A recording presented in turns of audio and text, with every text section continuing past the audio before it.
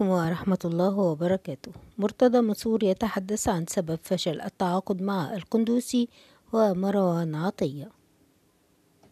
أكد المستشار مرتضى منصور رئيس نادي الزمالك أن فئة من جمهور الزمالك تضغط عليه للتعاقد مع لاعبين خلال فترات الانتقالات كما شدد على أن بعض وسائل الإعلام الزملكاوية تقوم بتسريب أخبار الصفقات التي يتفاوض معها الزمالك وهذا أمر يتسبب في فشل هذه الصفقات حيث طلب الجماهير بالهدوء وطلب وسائل الإعلام الزملكاوية بعدم إفشاء أسرار الصفقات حيث اتهم الجمهور وبعض وسائل الإعلام بأنهم سبب فشل صفقة القندوسي على سبيل المثال.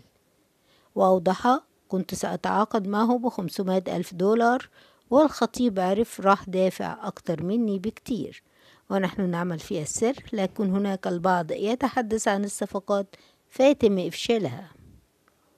وانتقل الحديث عن مروان عطية لاعب النادي الأهلي ولاعب الاتحاد السكندري والذي سبق وارتبط اسمه بالانتقال إلى الزمالك حيث قال أقسم بالله فريرا لم يطلب مروان عطية ولم يكن يعرف اسم مروان عطية ولم يطلب منا أن نتعاقد معه. وفشل انضمامه بسبب الحديث عنه في الإعلام.